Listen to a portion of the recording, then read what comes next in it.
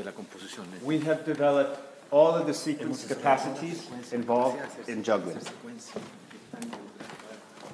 We have many different patterns, we have many different expressions, but in terms of experience, there are only eight formulas. We can combine sequences that change in between these, and then we get exponential combinations.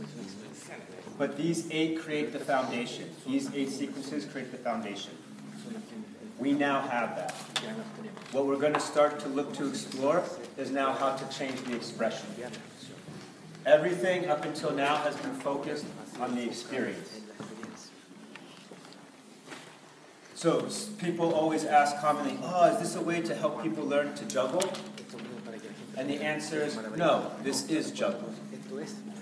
All of the capacities that we've developed are juggling capacities. Going from the table to throwing and catching is like going from balls to clubs. You're not learning new sequences, you're learning new movements. That's the only difference. So, one of the ways that I like to start to introduce throwing, just to give you guys an idea, we're not going to do this activity, but I'm just going to demonstrate some things for you. So, I know I want to introduce the catch and the throw. But having the person have to throw and catch, that's two new things. So I want to have him only work on one at a time. So first I tell him he catches, and then he always rolls to me here. This is an open state pattern, but I change the movement. One of the movements now is a throw. I have the freedom to do that. Because we don't care about the movement. We construct the movement. It's the sequence that matters. It's the sequence that makes this juggling, not the movement. This is mo- now it's starting to look more like real juggling, right? But what's really really the difference? How much did we change the activity? Not at all. Only the movement.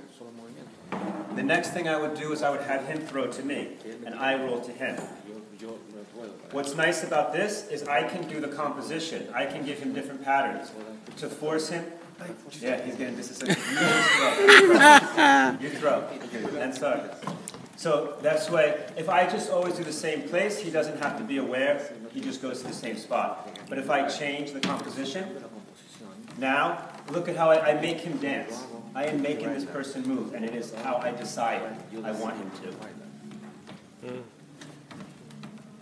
Now he fucked me. Tírala bien, Di. Cambia la. Cambia de. Cambia la malabarista, cambia Eh, no. Cambia la expresión. Alto, más alto. Más alto, más alto, más alto, más alto, más alto, más alto. And in theory, Tres up, tres up. In theory, there's no limit to how many balls we can play this way. If I want to play with more balls, all I have to do is increase the length of the track and throw higher. So when we start to play this way, it, not only can we introduce throws, but we're playing with a lot more objects at the beginning. It's a lot more exciting.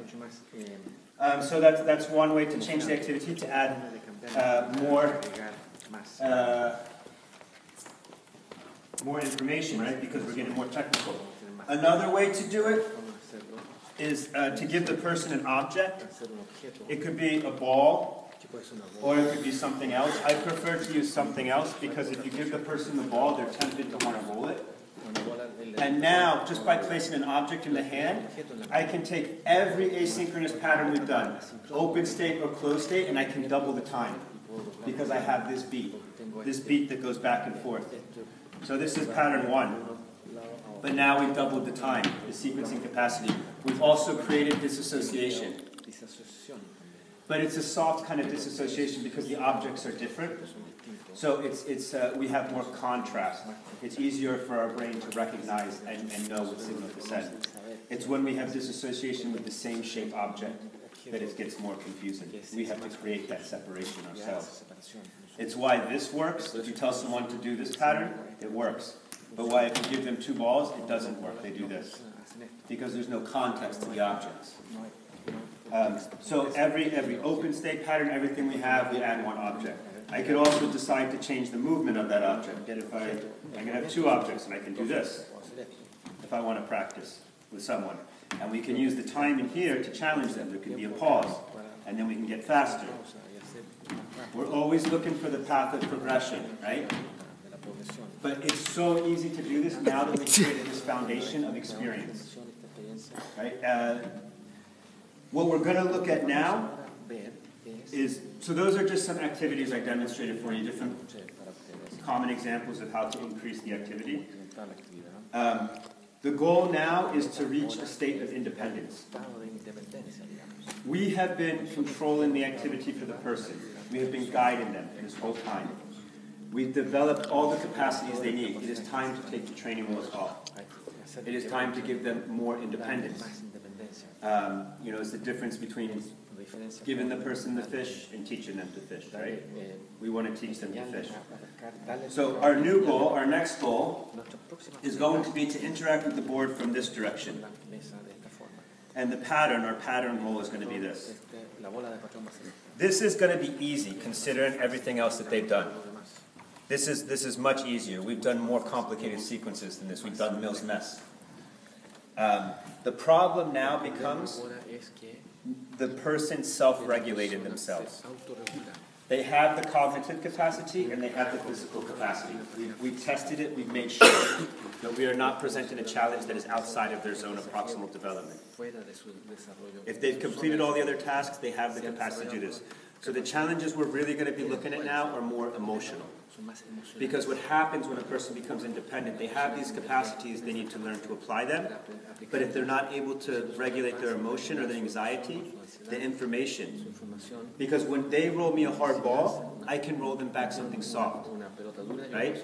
But now when they roll themselves a hard ball, what are they going to do?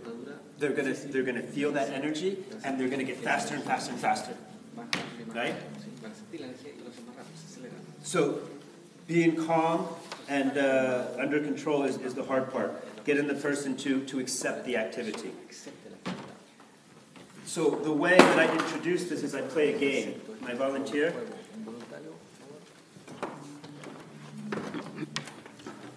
Different volunteer. We have people Sure. So, and again, this is this is part now. This is this is back into the composition. So the composition starts with the fixed state patterns, and our goal is the typewriter. Then we go to the open state patterns, and our goal is Mill's Mess. So the whole composition is designed to get us to that point. There are other pathways you can take, but the selected notation is to get you to that point. And now we would transition to the, the solo activity. Um, when we play this way, the notation changes a little bit. The grammar, everything is the same. We don't change anything about that. But instead of numbers, we use letters. So it's A, B, C, D, E.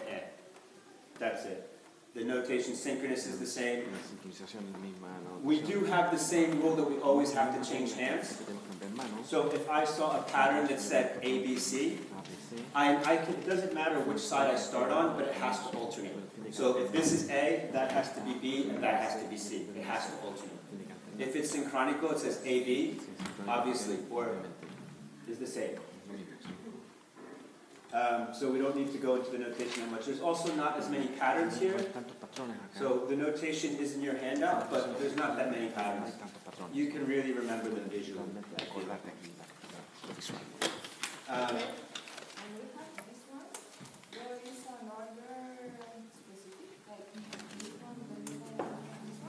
one, two, three, four.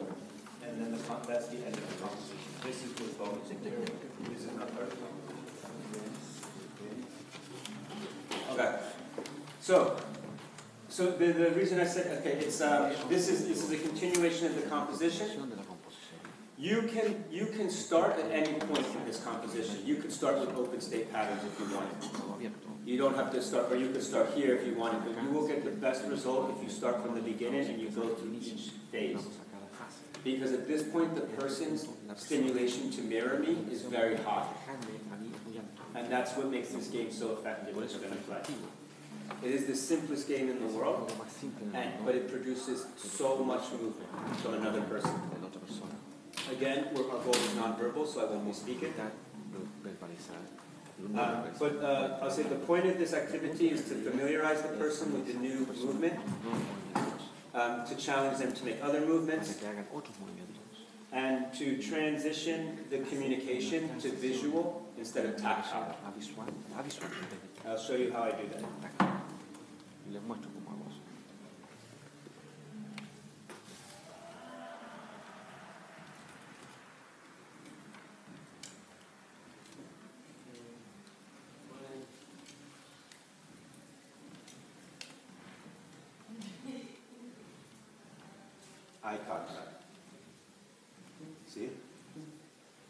The whole time we were playing, he was looking down. Now he's looking at me. And the information is coming from my action. He copies whatever I do. No se escucha. He doesn't think because we have Estoy metido con él. Que está la acción, la acción está, está contacto visual, que no está haciendo contacto visual. Whatever you do, the Lo que person will está copy. haciendo, la gente lo copia. Because we have one mirando rhythm, hacia that's abajo, all it ¿no? ahora lo, lo saco de Yeah. la mirada hacia abajo. We've experienced it now on a much higher level with all un these other nivel más balls. superior. And we can use with any objects to stimulate all of those different estimular todos sequences los capacities. But in terms of En términos movement, de movimiento, repetition, repetición, you only need one beat. Solo necesitamos un, un, Right? un beat. Because his movements become involuntary. Son. He starts to Él move empieza before he moverse processes his antes de movement. procesarlo. And he's only responded when único activated the funk out of his limbic system. el sistema límbico. We use time and rhythm. This whole composition has been to get him to this point where he is just este punto y él does what I want. Él hace lo que yo quiero. Um, the composition I'm using is very specific. I start off by first I have to mirror his time. He understands the role, but I mirror the time of his ball. Yo hago un reflejo de This stimulates the mirror neurons. This encourages the behavior that we want. Once we're harmonized, I make a suggestion. Sometimes they don't always understand it right away, but eventually they figure it out. I intentionally reach my hands in his line of view where the ball is.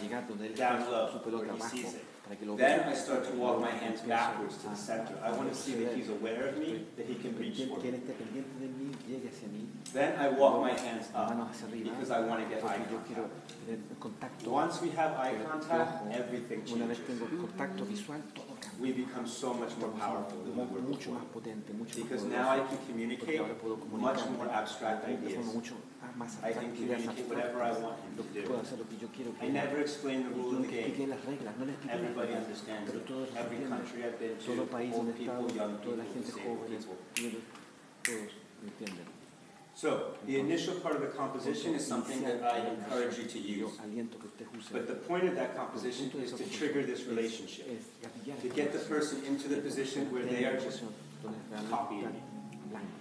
After I do that, we'll start to be creative. We'll Vamos a ser start to make other movements. empezamos otros movimientos. Depending on what my goal cuál es mi meta. is, maybe I'm working with a doctor and he wants me to have the person, Quiere que yo they have a, a limited shoulder movement. So we, we need a lot of repetition of this movement. Guess what? I can get 60 repetitions per minute. 60 repeticiones por minuto. That's 600 repetitions in 10 minutes, and I can get this person to sit here and play with me for 10 minutes like this. Especially if I have music, it's no problem. música, no hay problema. So we are now looking at a very simple way to enhance uh, the, the experience of traditional physical therapy. Because the movement is optional in juggling. I have the ability to create it, to change it. It's the formula that matters. And juggling produces a lot of repetitions in a short period of time. En corto de tiempo. And I've also demonstrated you, demonstrated for you a way that we can communicate these ideas without having to speak. So that means we can do this with anyone. Significa cómo hacer cualquier cosa. Um, once I've established the communication, I will encourage the participant to suggest something to me. This can happen sometimes naturally. They'll make a movement and I'll just copy it. And then they're up. It works both ways. Because everything we've been doing up until now, we made the suggestions and they copied us, so we modeled the communication. Now we want them to understand it works this way as well. You know, especially when working with nonverbal people, gesture communication, strong understanding of gesture communication can make a big difference. Because this is reinforcing and conditioning this idea. that if I make a movement, this person can understand something. You know, when you're working with, with autistic people, it's like you might, they need a lot of repetition. You know, you can't tell them, explain it to them once, you have to explain it to them many times, and this is the way that we can, we can condition communication behavior. Condicionar la comunicación. Um, so when I work with nonverbal autistic kids, we play these games, they understand that if they gesture to me, this is communication, and now they're able to tell me things, like if they're thirsty or they want to go to the bathroom, they have a different relationship with me. because I've shown them, I've stared, I've stared into their eyes for 10 minutes straight, making different body movements. Um. I think this is uh, where the work really starts to become inspiring for me. Is when I, we start to understand how we can use juggling as a communication tool for people who are nonverbal. Gente que no son I think that, that sentence, that statement is, incredible. Um, after, the, the, the thing too is, we're not limited now to just, to associating the movement with just the secuencia. We learn the sequence so we can stimulate this type of behavior, so we can stimulate this, um, uh, what is involuntary movement, right? Now we want to explore how, what I can do with that. So if I have him here, yo to roll, and I have him in this state of mind, now I say. It doesn't have to be in one space. I can have him, if I want him to practice stepping, there could be an obstacle here. I can spin, we can interact. There is no limit. The only thing we're responding to is this one period of time. That's what gives us all this stimulation. And I, I can't emphasize to you, I know we only have one doctor here, I wish we had more clinical people. Because the clinical people are super impressed by this activity. Because it's something they get and they know they can take and apply right away. It doesn't take a rocket scientist to to figure out this game. But it took, it took a juggler to figure out why that stimulation was causing this, this behavior. So that we could, we could isolate it and we could use it to get repetition. Para tener repetición. Um, what we're gonna do next is, from that level, is I usually introduce another object, Finalmente presento otro. like I showed you before. Como le mostré antes. And this, this is, a lot of this material now is jumps over the moon. Es, es en la vaca Is the la luna. three, one, Es two el site swap sequence. This is a really important pattern. Patrón muy importante. It is the smallest possible pattern we can have that is uh, bilateral, asymmetric, reflective, um, and uh, disassociated with a suborbit. con una suborbita. The suborbit part is super important. La parte es muy The sub, a suborbit in juggling is when one part of the pattern does not interact with the other. Actúa con el otro. So anytime you have a number in a site swap pattern um, that is a multiple of the period, then that part of the pattern will be isolated from the rest of the pattern. Del otro parte. That's for the juggling. For the rest of you to understand, they don't interact. That's the, the point. See how the ring does not follow the same path as the ball? Whereas when I do the cascade, they follow the same path, Sigue la misma ruta. right? So this differential in path we can use to our advantage. ruta Lo podemos usar para nuestra ventaja. Um, because we can add it into any pattern. agregar a cualquier patrón.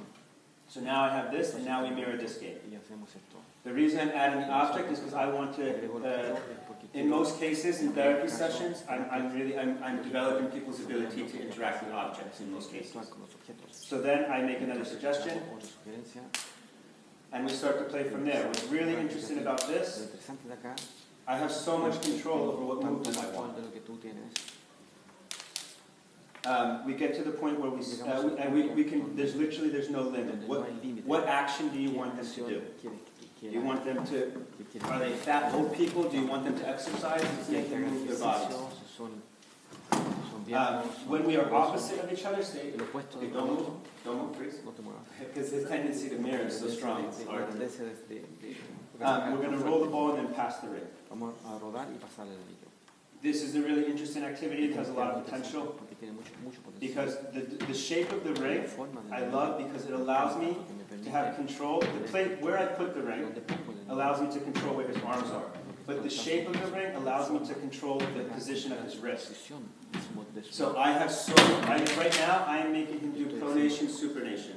Again, if there were more clinical people in the room, they would all be saying, wow. Because that's a really hard idea to communicate. If I had to get a person with Down syndrome to do an exercise like this and I had to explain to him what I wanted, it would be very difficult.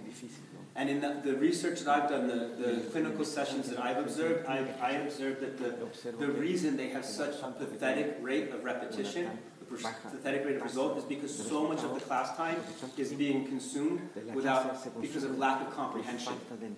or distraction. We solve both of those problems here because you cannot go anywhere else you are with me. So there's no more distraction. Hay más distracciones. And we don't we solve the problem of comprehension because we're using nonverbal tactile communication. We're using time to communicate our intention. Um, so by playing with the ring, we can we can be super creative and we can play games. Creativos, jugar Juegos. We get to another level. Llegamos a otro nivel.